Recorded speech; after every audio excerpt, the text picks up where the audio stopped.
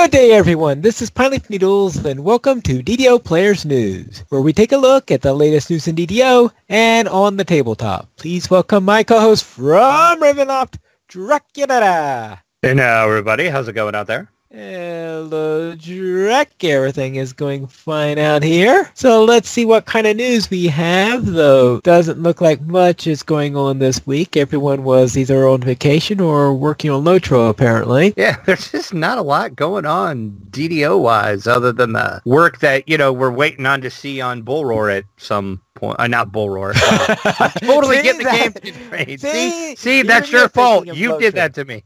You did that to me. That is your fault. I'm blaming that on you. Lamannia, that's what I wanted to say. We're waiting to see that work yet. So, yeah, we have the Chronicle, and that's really about all we have game news-wise. Then let's then head into the Chronicle, where it looks like a bird-themed hall. I want to say that's not Castle Ravenloft. I want to say that is from, and the name of the quest is escaping me right now. It'll probably come to me. It'll come to you when we're finished with the show. Yeah, exactly. Probably, yeah. But anyway, it's Ravenloftish. Still, still, still getting the Ravenloft cover shots on the Chronicle. In our Chronicle this week, the Community Spotlight has Maze Arcana and Wizards of the Coast has announced a new upcoming Eberron-based tabletop live stream show. And the name of that show recently just changed. It was called something else, but now it is called Maze Arcana, the Inkwell Society. Okay. And that is going to start Wednesday, March 21st at 7 p.m. Pacific time. And you can view that either on the official DDO stream channel. They are going to be hosting the Maze Arcana stream. So you can watch that either place. But always good to see a brand new Eberron-based show. Because if you're familiar with Maze Arcana and the work they do, they do love them some Eberron, as we all do. Hmm, also, in our community spotlights, Bruce Shepard is frequently uploading DDO videos over on his YouTube channel. You can check out his latest one, which is Slave Pits of the Undercity. So click over and watch his videos and give him a subscribe. He does some pretty cool videos. And then, of course, we have our fan site news section of the Chronicle. DDO Cast is leveling up. Ding! Congratulations. Ding. There, there. You have never heard that? Ding. For- Yeah, I've heard of Ding. I'm just wondering what what did they level up with? Uh, they are levels 23 and 24. Ah, They're old now. They're level 24 now. Okay. and that, of course, is part of their series. They're going through and talking about leveling. So this time it was 23 through 24. So check out the latest episode of DDO Cast. Syp over on his Massively blog is spelunking in the caves of Cormyr. So check that out. And a very bad guild gets shamed by the Dreaming Dark. Click over and check out their latest videos. And if you have not checked out Brock and Friends on Friday nights, they are on the DDO stream. Check out their most recent show. That is a wonderful, amazing stream. They play DDO, but they do it role play style. So they take a quest and they do the quest, but they actually are acting like they're playing Dungeons and Dragons, pen and paper, and they're doing role play and they're coming up with their own stories. It is amazing. So if you haven't checked that out, check them out. Once again, that is Brock and Friends. And finally, in our fan site news section, Mickey is running Ravenloft raids. Imagine that, Mickey raiding. I am shocked, as we all are. and of course, we have the Chronicle comment of the week. And that is, what is the name of the best store in Barovia? the best store in Barovia. Gums Gang is saying Drax coffee and waffles. That's great. well, yeah, let's see. That's great. That's Uh, awesome. I was, I- I would think that we need something for some education. So I know this may sound inappropriate, but sometimes a reversal is nice. And that would be Sunrise Books. nice. finally. I will. uh, my answer, which actually I saw over in the forum thread post on this because I posted this too, and then I know somebody else posted it. Uh, Blood, Bath, and Beyond.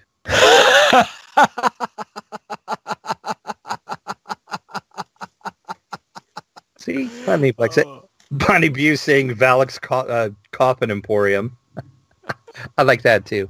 Oh, so many good answers. So many good answers. And then, of course, we have our official screenshot of the week, and that is Daydream is visiting the 12 as snow falls in the 354th DDO screenshot of the week.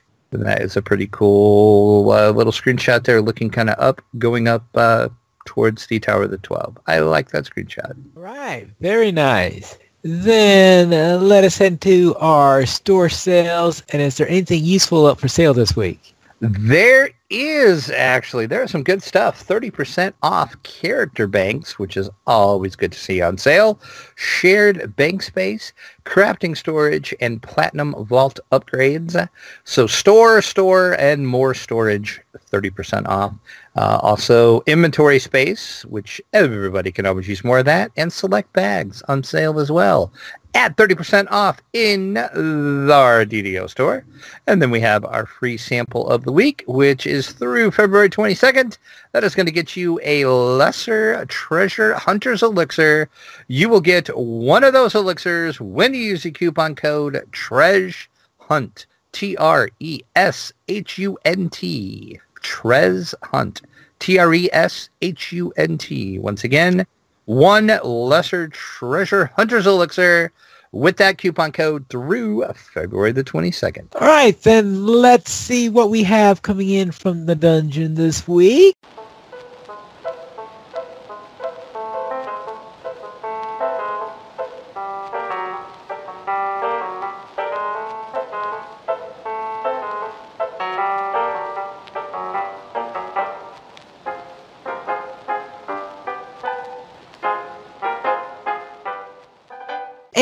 And I think I there's this new role playing game that's coming out in Kickstarter that I just think is completely inconceivable. I don't think you know what that word means. Oh, oh well. yeah, if you haven't guessed it, uh, we're talking about The Princess Bride. The official role-playing game is up on Kickstarter, and I cannot believe it took this long for somebody to come up with the idea to make a Princess Bride role-playing game. You would think somebody would have done this already. Are you sure it hasn't been done already? And I looked and I couldn't find one. Oh, you couldn't find. Okay. I found some like fan made versions and stuff, but nothing that was like an official commercial project or and anything of the sort. But yes, this is done by Toy Vault, and they are uh, kickstarting this, of course. And this is going to be a cooperative storytelling game where each player is going to take on a role uh, of a character within, of course, the Princess Bride universe. And the character can be anything you would imagine you want them to be. And it is based off of the Fudge system. So if you're familiar with that, you kind of know how the RPG is going to play. And as I said, they are uh, up on Kickstarter right now. As of this recording on a Monday evening, they have 23 days to go and they are at 82% of their goal. Uh, they are at uh, 37,202 of the $45,000 goal. Oh, oh, you mean they didn't make it to their goal yet? No, I'm I'm actually surprised. Inconceivable. nice, well played, by Lee. Yeah, I'm actually surprised that this one didn't. Uh, I, I figured this was going to be one like most of the other things, and they would just uh, hit their goal almost immediately and start doing stretch goals. But nope, they're still working on it, but they have 23 days to go. So if you're into The Princess Bride, check out the Princess Bride role-playing game over on Kickstarter. Then let us head over into Gen Con, where I've heard that they're really selling their their what's it called boy, can you remember what the word is? The badges. Badges, yes, badges. yeah, they're going quick like they did last year. And uh, not that uh, anybody's counting or anything, but there's 23 weeks, two days, two hours, and 18 minutes to go until Gen Con 2018. Just, you know, throwing that out there off the top of my head. Oh. and how many days till it sells out?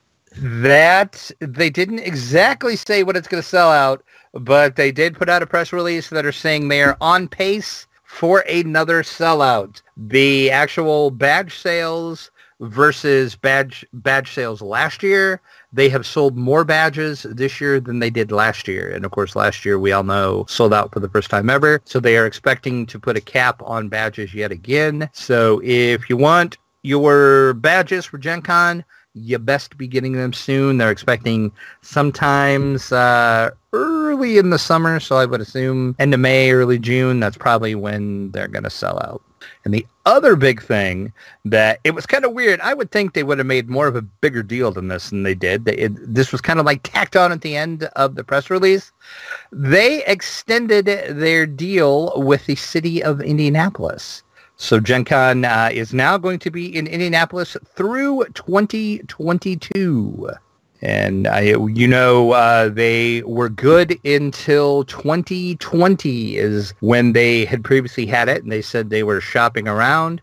Well, apparently they couldn't find anywhere else to go, so they did a two-year extension with the city of Indianapolis. And I'm kind of thinking they're going to stay in, in Indianapolis, even though Indy's getting a little small for them. I don't think yeah. any other any other city could handle Gen Con. I really don't. Well, yeah, that's it would be tough to find a city that could accommodate something that large. So yes, and then they did announce, uh, along with that uh, announcement, that they uh, re-signed with the city of Indianapolis through 2022. That this year they are also going to be using Lucas Oil Stadium yet again. So Gen Con is going to be the convention center, Lucas Oil Stadium, and surrounding hotels yet again. Bonnie View saying maybe Indy made them an offer they couldn't refuse. I think Indy will do anything to keep them as much money as they make for Indy. I'm pretty sure Indy is going to bend over backwards and, and make it happen that, that, that they stay there. So let's go and see what's on the tabletop.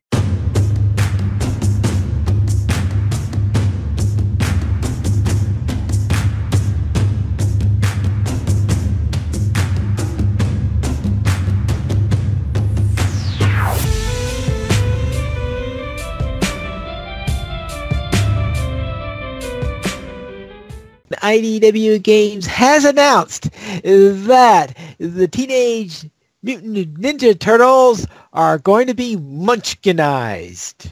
Oh, Munchkin, I'm telling you. If you have a property, eventually it's going to end up a Munchkin game. just, just saying. Well, seeing how last year they did Munchkin Shakespeare.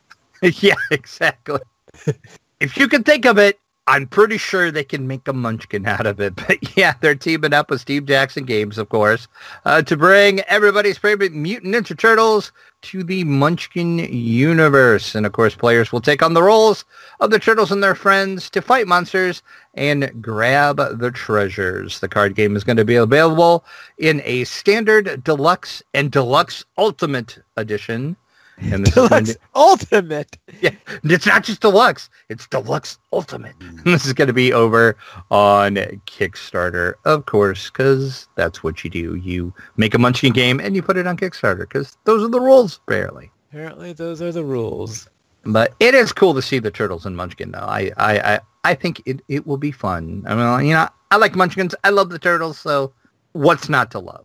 Then also let's have a look at what's coming in from Avalon Hill and it looks like that we are going to take the classic Axis and Allies and zombify it. yes, we are.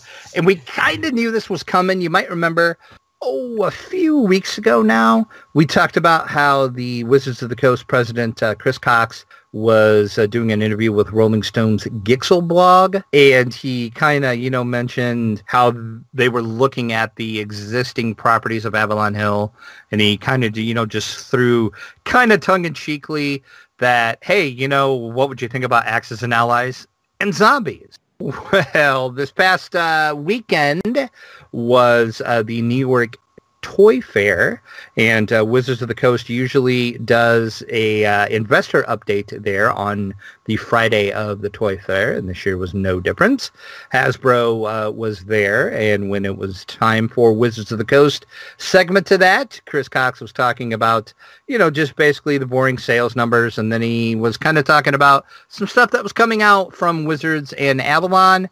And he said, and I will quote him here, we are also going to invigorate board games with our Avalon Hill brand. Axis and Allies and Zombies will take the beloved World War II strategy classic, Axis and Allies, and add a fun alternate history with, with streamlined gameplay, curveballs such as chainsaw tanks, and zombie mind control rays, and of course a zany storyline uh, strategy fans everywhere will be sure to enjoy. So this is supposed to come out later in the year. No word on the price or anything else about it other than that. But yes, it is official. Axis and Allies and Zombies coming soon. Right. We seem to be getting sequels to just about every game you could think of. I mean, at this rate, someone's going to come up with a sequel to Uno even. You know what? They are, Pine Leaf. What? They are. Yes. Your wish has been granted. You have probably been waiting for this for Waiting oh, for 47 years since Uno hit the market. Mattel decided, okay, it's been 47 years. Now is the time we make an Uno sequel. Okay. And is what's it going to be called? Is it going to be called something something really cool? What? Logically, what would you call it? Uno, dos, tres, Uh, dos. There you go. It's Oh. Uno Dos. Yeah. Yeah. I at first I thought this was a joke when I got the Was this like- April 1st? Yeah, exactly. I'm like, you guys are a little early for April 1st. And then I read it and I'm like, oh my God, they're serious. Now, see, now Bonnie's got it right. Bo- Bonnie B on the chat is saying Uno and zombies. What, and need. zombies. That's what we need. A zombified Uno. A zombified Uno. That's what we need. That would be freaking amazing, actually. But yes, Uno Dos, of course, is the sequel to Uno, which, you know, makes sense. And the object of the game is going to be the same, but instead of running two piles of cards, you will have two piles to choose from. So you have two stacks of cards on the table instead of one. And then, of course, when you get down to two cards, you have to yell Dos instead of Uno. hmm So yeah, not a lot went into the design of this. apparently not. just, just saying, this is going to be available starting on March the 4th, and it's going to be officially only sold at Target stores for $5.99. And then later on in the summer, it will be uh, available everywhere. Uh, about mid-August, you'll be able to pick it up anywhere. But the MSRP is $5.99 on it, so it's got a decent price point. Easy to get into. It's just, yeah. Did we really need a sequel to Uno? Okay. And I heard that on top on their list for next year is Tres. You know, they actually, I saw an interview with one of the marketing people from from from Mattel, and they said, "No, we have no plans to make that." okay. Interviewer actually ask him about that. well, it was an obvious question. I I think their their hi- his answer was like, "No, I think we're going to be happy with Dos for a while or something like that." All right, another 48 years before the before the next sequel. Let us go and see what's on the screen.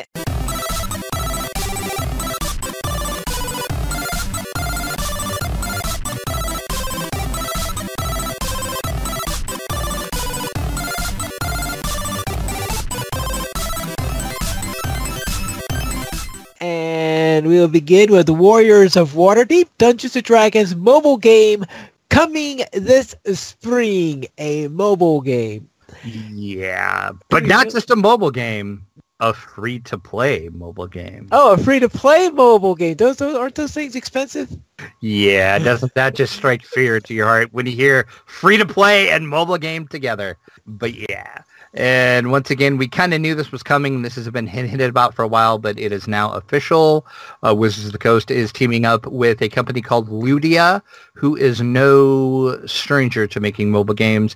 They have uh, other titles such as Jurassic Park Builder and the Teenage Mutant Ninja Turtles Legends. Both of those are uh, pretty well received m- mobile titles from them. And this uh, Warriors of Waterdeep is uh, designed, as I said, as a free-to-play turn-based RPG that is going to let characters choose from 12 different classes and nine races. And uh, as of the press release that I got, there is a human wizard, an elf cleric, a halfling fighter, a dwarf rogue, a dragonborn ranger, a tiefling warlock, and a half-orc barbarian that used to choose you can choose from. Gameplay is going to be turn-based with combat featuring a mix of combat, uh, melee, and spells. Players can use cards to upgrade their characters. Remember that. I'll get back to that in a second. Which they can obtain by either purchasing in card packs or from completing the storyline chapters and beating certain bosses who will drop the cards that they need. Aha. Uh-huh. But of course, it's going to be impossible to kill those bosses without purchases. Right, exactly. You're going to have to end up buying card packs.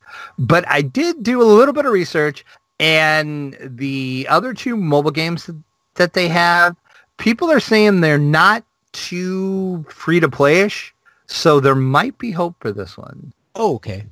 Because people are saying the other games you actually can play without actually spending money on.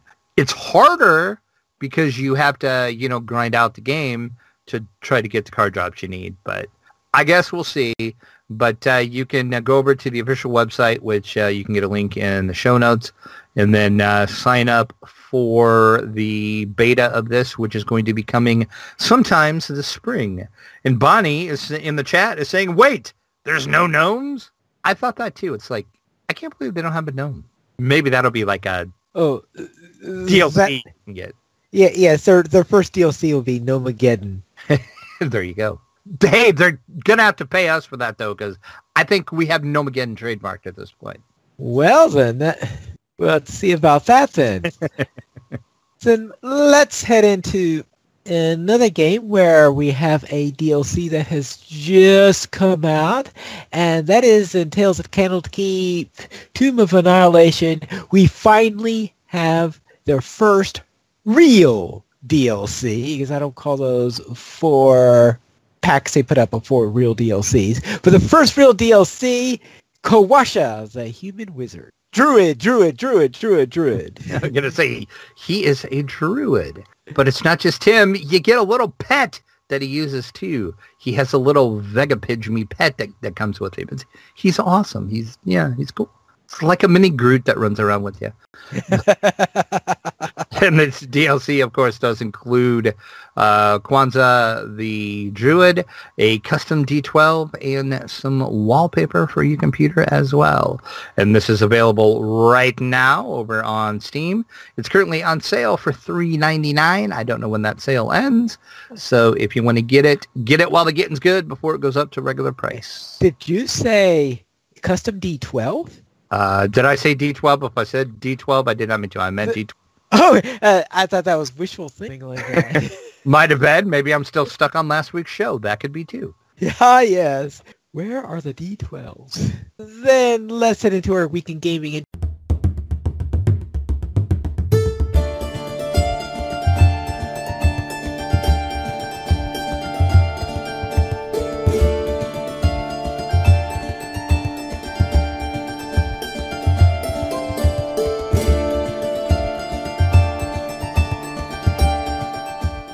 Drac, what have you been up to? Well, I actually did some stuff this week. Not a lot, but um, still running Devil's Gambit, Grim and Barrett. Still trying to get that quiver. Still don't have that quiver. Yeah, You- you are quivering with hope. Yeah, well, at some point, maybe the RNG gods will smile upon me and it'll drop, but I doubt it. I highly doubt it.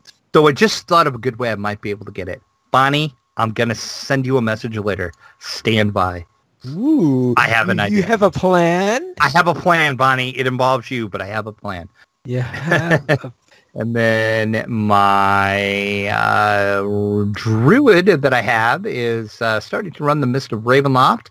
I realized for some reason I haven't ran the druid through Ravenloft yet. Of course, my, my druid is my Wolflock. So I am running through Ravenloft. I did the intro quest Into the Mist. Also did In the Shadow of the Castle, which is, of course, Death House. Fresh Bread to Dreams and an Invitation to Dinner. Ran those, so I will continue on with the rest of Ravenloft. And I did some stuff with you. I'll let you talk about that. And that's really all the DDO that I got in this week. Uh, elsewhere in video games, though, did play Seven Days to Die, of course, over on our Hot Mess server. Uh, we had another Horde night, survived that okay. And we're actually getting ready for yet another Horde night. So Horde nights are coming fast and furious here these days. And then uh, I also have a single player game of Seven Days to Die I am playing. I am playing a new mod that is out. It's called the War of the Walkers. And oh my god, is it hard. Holy cow, is it hard. And there are so many zombies. There is like way more zombies in this than like vanilla Seven Days to Die, but it's fun. I like it a lot. And then other video game wise, I played Subnautica. I finally uh, installed that and got that. I got a, a uh, key for that for a review. So I just remembered, hey, I never installed that. So I installed it, and there you go. And uh, played it for a little bit. Uh, I like it so far. It's different, but it's fun. It's uh, I'm trying to think uh, the easiest way to describe it. It's like a survival game set underwater. I guess is the best way to describe well, it. My dis- my description of it was "Don't starve underwater." Yeah, I, I could see that too. Because yes, I actually did manage to starve myself to death. So, so yes, don't starve underwater. That works. So look for a review of that coming at some point once I feel like I'm ready to actually write the review. And then uh, also for review, I played a little bit of Pathfinder Kingmaker. That is a new um, computer RPG that is uh, coming out, of course, based in the Pathfinder universe. And this is the first time they uh, actually have a uh, action, or not an action RPG, just a computer role-playing game based in Pathfinder. It was successfully kickstarted. It's in pre-alpha now. So I'm going to kind of wait for my review. They didn't want the review out right away since they're in pre-alpha. Um, I'll probably wait until they at least get to beta because right now it's a little buggy. But of course that's to be expected because they're in pre-alpha. It's not really even alpha. It's like pre-alpha. So there's like a lot of stuff that's not done. But the stuff that is done, it's pretty darn fun. It it reminds me a lot of like Baldur's Gate and Icewind Dale. It's kind of that style of gameplay. So if you're okay familiar with, with that style of gameplay, that's pretty much what it is. But it but it uses the Pathfinder rule set. So it has no relationships into the old Avalon Hill board game. None whatsoever. Okay. Other than the Kingmaker name. Okay. Just checking. That's the only relation that it has. And then I think you can go. I will have to check. I will put a link in the show notes. I think you can actually go over on the website and buy like a pre-order for it, which will get you into the alpha, I think. Don't quote me on that, but I'm pretty sure you can. If so, I will put that in the show notes so you can get more information about Pathfinder Kingmaker. And then uh, on the tabletop, I played uh, so a little bit of HeroClix X-Men Xavier School. Did this at uh, my friendly local game shop. Uh, one of my friends actually runs the organized play at the uh, FLGS, and he said, "Why don't you come Saturday and check out this new uh, Xavier School HeroClix? We're gonna have a tournament on it." So I'm like, "Cool, that yeah, I'll do that," because I haven't played uh, HeroClix since like HeroClix like originally came out like way back in the day, and it's really changed a lot since the last time I played it. But so we got there, and then it ended up that they didn't get any of the organized play stuff in the packs that they needed. So it got canceled, but we decided to play anyway. So we just sat down and uh, played a couple uh, games of HeroClix. X-Men Xavier School. I won one and I lost one, so I was even on the day, so it worked for me. Yeah, not bad.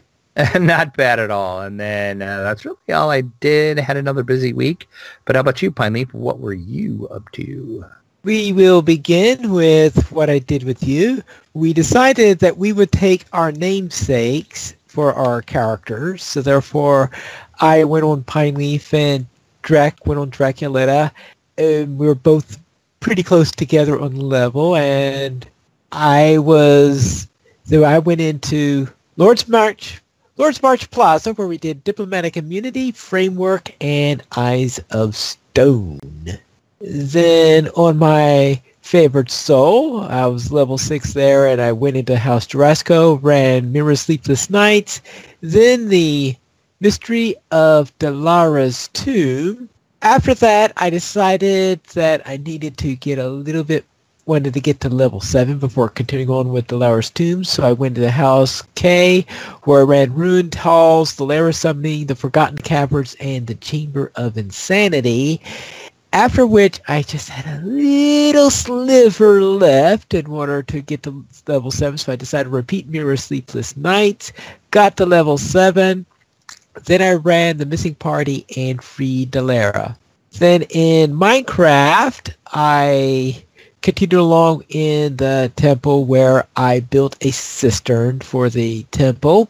Then in tabletop, I did my February playthrough for Pandemic Legacy Season 2. And I don't think it is possible to get a friendlier set of cards drawn in a game of Pandemic that I did for this round. It was like, what? Because I would get the exact cards that you need whenever I was drawing. Okay, it wasn't perfect out, but I would say that it was as good a set of draws as anyone has any reasonable right to expect in Pandemic. Maybe a li- even more than a little bit more reasonably right to expect. So it got finished very quickly. And probably just as well because, of course, the infection deck was getting ready to turn nasty, which was definitely not doing a friendly turn. So therefore, I had a very, very friendly player draws and very unfriendly draws on the infection deck. So I guess they bounced each other off because it was a race to see whether I would win first or whether the infection deck will start to blow up my entire board. And I managed to win the race on that one. So therefore, I completed February, and I have a feeling the game's going to have its vengeance in March because y- you can't have two games go that sweetly in a row. Then in tabletop video games, I played Tales from Candlekeep, Tomb of Annihilation, where I played several rounds where I was jumping back and forth between playing with Dragon Bait and with Qawasha the Druid. So yes, I did get the Druid and was playing around with him so I could see how he goes. And so far, I'm not exactly impressed with Wild Shape abilities. But yeah, the pet that you get and the other things that Qawasha does, though, seems to be a reasonably good character to have around, though I still have a liking for Dragonbait. We currently have 18 supporters on Patreon, and, and if you'd like to help support DDO players, simply go to the donations page where you can support the Players Alliance on Patreon. There you'll find rewards, including a mention on the podcast your choice, or be a guest with us for an episode of DDO Players News. This week we did not receive any emails, but if you'd like to send us one, you can send it to podcast at ddoplayers.com. You can also follow us on Twitter, the Players Alliance at Players Ally, DDO Players at DDO Players, Draculetta at Dracula underscore 72, and Pineleaf at Pineleaf Needles. The Players Alliance has three live shows every Monday at 8.30 p.m. U.S. Eastern Time. We have DDO Players News. Every Saturday at 8.30 p.m. U.S. Eastern Time, we have LOTRO Players News. And every other Thursday at 9.30 p.m. U.S. Eastern Time, we have XP Quest. And you could catch our new show on the first Tuesday of every month at 9.30 p.m. U.S. Eastern Time. Chromatic Bits, which is a new pre-recorded video game music podcast. And this will air on Mixer and that we will be re- releasing a podcast version soon afterwards. And you can join us for our live shows at ddoplayers.com slash live. And that is all for tonight. And this is Pilot Mules reminding you to quest responsibly.